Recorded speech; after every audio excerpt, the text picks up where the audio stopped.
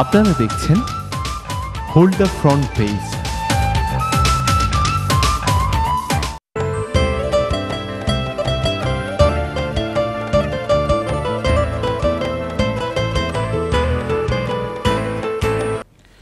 প্রিয় দর্শক, দেখছেন এনটিভির সংবাদ বিষয়ক অনুষ্ঠান হোল দ্য ফ্রন্ট পেজ আর আজকে আমাদের সাথে আছেন মুক্তিযোদ্ধা আহবাব চৌধুরী এবং আশফাক অনুক অনলাইন অ্যাক্টিভিস্ট আমরা কথা বলছিলাম বর্তমান শাহবাগে যে গণ আন্দোলন সৃষ্টি হয়েছে এই বিষয়ে এবং সে এই বিষয়ে কথা বলছেন দুই প্রজন্মের দুই যোদ্ধা। আমি প্রথমে এই প্রজন্মের যোদ্ধার কাছে আসব।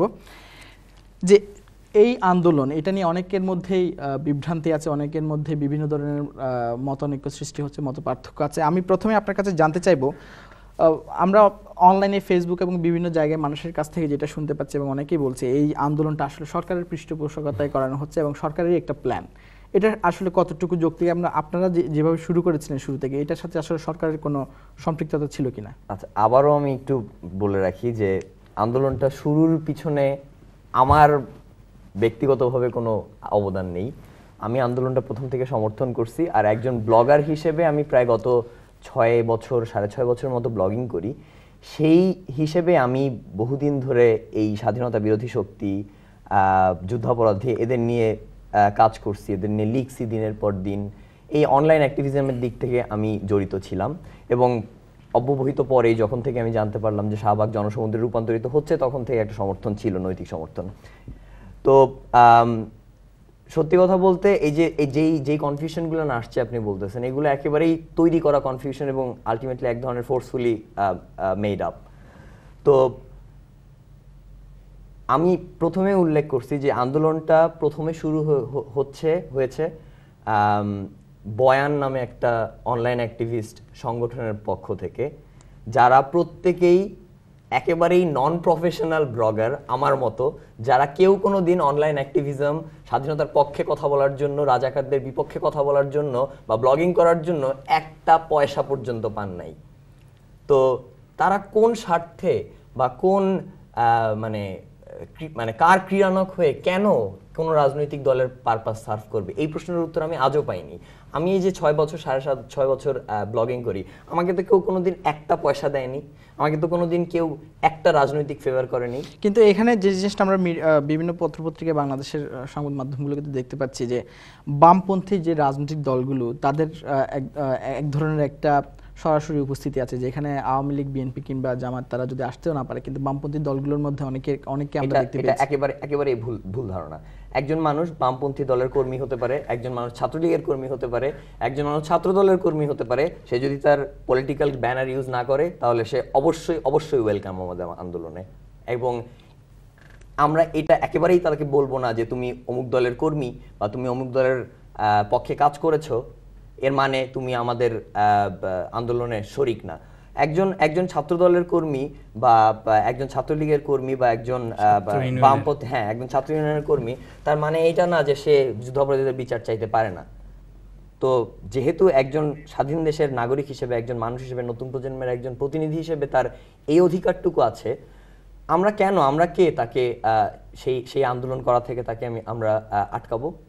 তা আপনি কি মনে করেন আপনাদের এই কনসেপ্টের কারণে আজকে এই আন্দোলনটা একটু জোরালো অবশ্যই অবশ্যই। কারণ আমি আমি নিজে দেখেছি আজকে আলতাবালি পার্কে গত আট তারিখ আমাদের যে ডেমনস্ট্রেশনটা হইল, সেখানে আমি আমার জানা মতে বিভিন্ন ব্যাকগ্রাউন্ড থেকে মানুষজন এসেছে। কিন্তু একজন মানুষ একটা রাজনৈতিক স্লোগান দেন নাই, একজন মানুষ একটা রাজনৈতিক ব্যানার নিয়ে আসেন নাই। এই জিনিসটা কি একটা সফলতা না, একটা ইস্যুতে সারা দেশের সব মানুষ একমত হয়েছেন, একটা বিশেষ গোষ্ঠী ছাড়া, যে এই বিচারটা করতে হবে হতে হবে। এবং এর জন্য প্রয়োজনে আমরা আমাদের বহুত দিন ধরে লালিত এই যে দলীয় ব্যানার সেটাকে বর্জন করতে পর্যন্ত রাজি। এত বড় সাফল্য বা আমাদের জাতির জীবনে ধন্যবাদ আপনাকে আপনার কত বছরের মধ্যে উত্তরের জন্য। আমি এবার আহবাব চৌধুরীর কাছে আসব। উনি যে বললেন যে একটা আন্দোলন সৃষ্টি হয়েছে শুধুমাত্র একটা ইস্যুতে সবাই ঐক্যবদ্ধ হয়েছে। এর মাধ্যমে আর কি কি পরিবর্তনের সূচনা তারা করতে পারে এবং কি ধরনের পরামর্শ আপনি দিতে পারেন তাদের জন্য? প্রথমে আমি বলব, আপনি যে ওনাকে প্রশ্নটা রাখছিলেন যে এটা কি কোনো রাজনৈতিক দলের ইন্ধন আছে? না। এটা আমি প্রথমেই বলছি যে গেল সাতত্রিশ বৎসরের যে স্বাধীনতা বিরোধী আন্দোলনের প্রতিফলন, এই আমাদের ইয়াং জেনারেশন ফুলে ফেফে তারা একত্রিত হয়েছে, এই আমার ইশফা আশফাক উনি বলছেন। যে এই যে কি বলে ওনাদের কি মাধ্যম? অনলাইন অনলাইন মাধ্যমে ওনারা একত্রিত হয়েছে জাতিকে ওনারা ওনারা একত্রিত করেছেন। এইখানে আমার মনে আমি মনে করি ইনস্ট্যান্ট অফ রাজনীতির সফলতা রাজনীতিবিদদের সফলতা এটা যেহেতু রাজনীতিবিদদের ব্যর্থতার কারণে ওনারা ফ্রন্টে চলে এসছে। ধন্যবাদ আপনাকে। আমি একটা কলার আছে ওনার মতামতটা নিয়ে এসে আপনার কাছে আসছি। হ্যালো কলার সালাম আলাইকুম। জি ওয়ালাইকুম সালাম বলেন। সালাম আলাইকুম। হ্যালো শুনতে পাচ্ছেন? জি আমরা শুনতে পাচ্ছি। আপনি কি শুনতে পাচ্ছেন? আমি শুনতে পাচ্ছি। জি বলুন। হ্যালো জি আমি শুনতে পাচ্ছি। আচ্ছা আমি একজন প্রবাসী ডাক্তার। আমার নামটা আমি নাই বললাম। আমি এই জন্যই ফোন করেছি আজকে আমাদের নতুন প্রজন্মকে ধন্যবাদ দেওয়ার জন্য। আমরা তোমাদের জন্য গর্বিত। তোমরা আমাদের সন্তানরা আবার একুশের সরি একাত্তরের চেতনাকে, মুক্তিযুদ্ধের চেতনাকে আবার পুনর্জীবিত করেছ। তোমাদেরকে দেখে আমাদের মনে হচ্ছে সেই সিক্সটি নাইন সেভেন্টি ওয়ানের কথা। যখন আমরা তোমাদের মতন তরুণ তরুণী ছিলাম, আমরা রাস্তায় রাস্তায় ঘুরেছি স্বাধীনতার জন্য সমস্ত কিছু ভুলে গিয়ে শুধু একটাই আমাদের ছিল মনে যে আমাদের দেশটাকে স্বাধীন করতে হবে। তো আমি তোমাদেরকে আবারও ধন্যবাদ জানাই। তোমাদের এই মহা একত্রিত হয়ে তোমরা যে আজকে রাজাকারদের বিচারের জন্য রুখে দাঁড়িয়েছো এটার জন্য আমরা তোমাদের সবাইকে ধন্যবাদ ধন্যবাদ। আমি আশা। করব তোমাদের এই দাবি যতক্ষণ পর্যন্ত জামাতকে নিষিদ্ধ না করা হবে এবং এই প্রত্যেকটা যারা রাজাকার তাদের ফাঁসি যতদিন পর্যন্ত না হবে তোমাদের আন্দোলন তোমরা চালিয়ে যাও আমরা তোমাদের পিছনে আছি। ধন্যবাদ আপনাকে আমরা যাচ্ছি পরবর্তী কলারে আরেকটা কথা হ্যালো হ্যালো হ্যালো আসসালামু আলাইকুম আসসালাম জি বলুন ভাইয়া শুনতে পাচ্ছি। হ্যালো ভাই। ভাইয়া আমি ওয়ালাইকুম আসসালাম। আমি প্রথমে ধন্যবাদ দিতে চাই আপনার দুই অতিথিকে। তারপরে আমি ধন্যবাদ দিতে চাই আমার আগের যিনি অনারেবল লেডি ওনাকে, ওনার মূল্যবান কথার জন্য। আর তার আগে যে দুই কলার ছিলেন, আমি ধিক্কার দিতে চাই সেই দুইজনকে।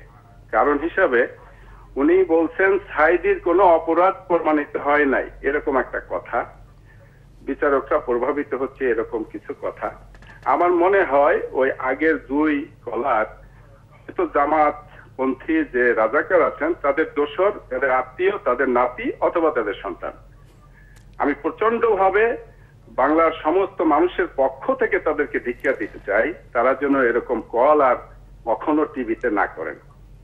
আর আপনার অতিথিদেরকে আমি সারা বাংলাদেশের জনগণের পক্ষ থেকে আমি আমার আন্তরিক শুভেচ্ছা এবং ধন্যবাদ এবং আমার প্রবাসী থেকে আমি যেটা করতে পারছি না, আমি আমার উদ্যহ, উদ্বোধক, আমার শীর্ষ হাত আমি তাদের দিকে বাড়াই দিতে চাই। তারা তাদের এই এই আন্দোলন চালিয়ে যাবে। যতদিন না এই সমস্ত রাজাকারদের ফাঁসি এবং এই জামাত শিবিরের পতন না হবে। আমার এই মন্তব্য আমি সারা বাংলার মানুষের কাছে পাঠাই দিতে চাই আন্দোলনকে আরও আরও বেগবান করার জন্য। ধন্যবাদ আপনাকে আপনার মতামতের জন্য। ধন্যবাদ। আপনাকে। আমি আহ, আহবাব চৌধুরীর কাছে একটু